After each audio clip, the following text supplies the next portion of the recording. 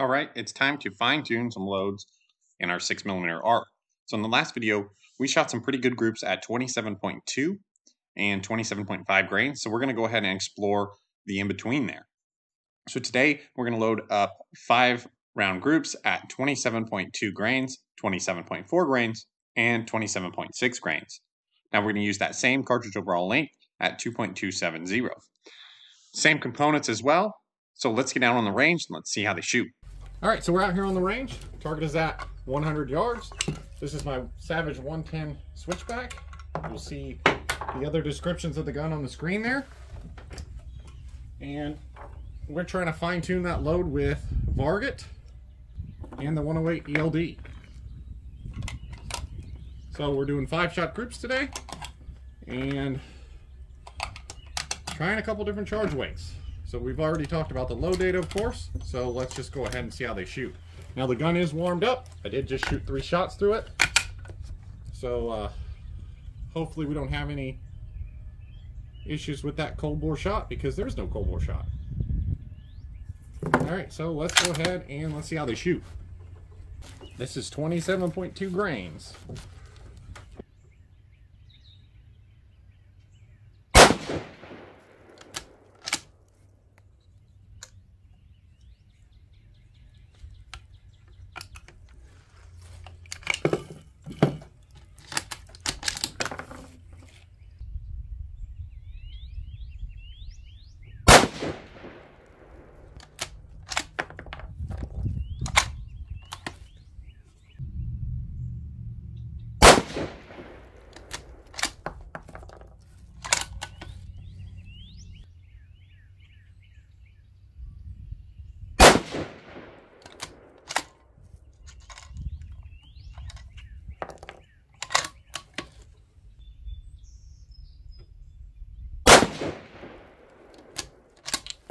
So pretty good looking five shot group there.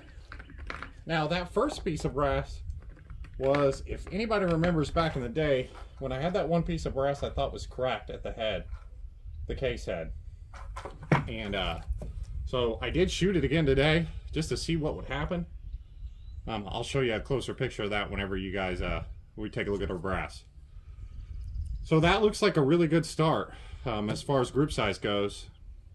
A little bit of horizontal shrinking it looks like, but um, 2661 feet per second with a 7.3 SD. So really a nice looking group there.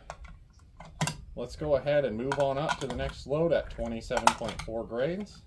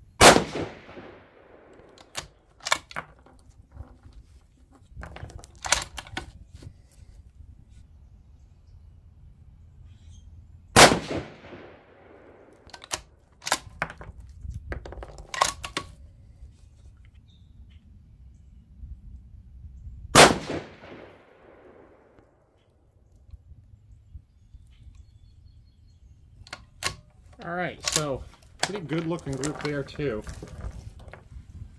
Let's see what our velocity looked like. All right, so that one, our velocity jumped a little bit. We had 2679 with an 18.4 SD. Now we did miss our first shot, the LabRadar did, for whatever reason. So that's a four shot average.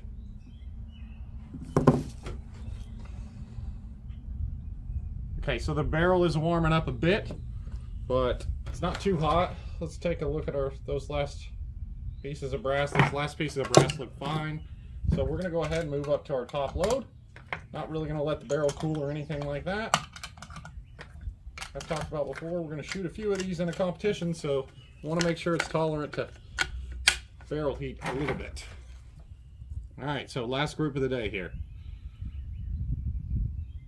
Hopefully we catch all of them with our LabRadar. Usually don't miss many shots with it. Especially not once it's already set up. So kind of weird there.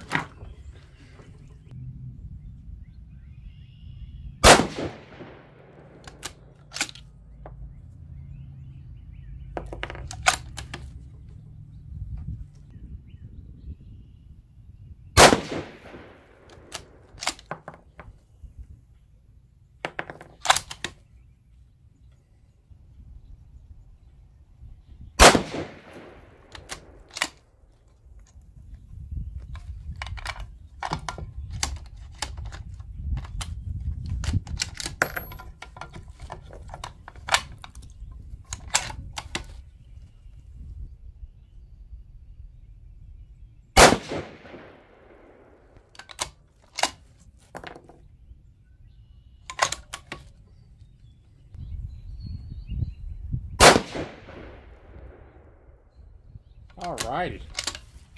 Woo! Good looking group there. Let's see where velocity was. It looked really consistent.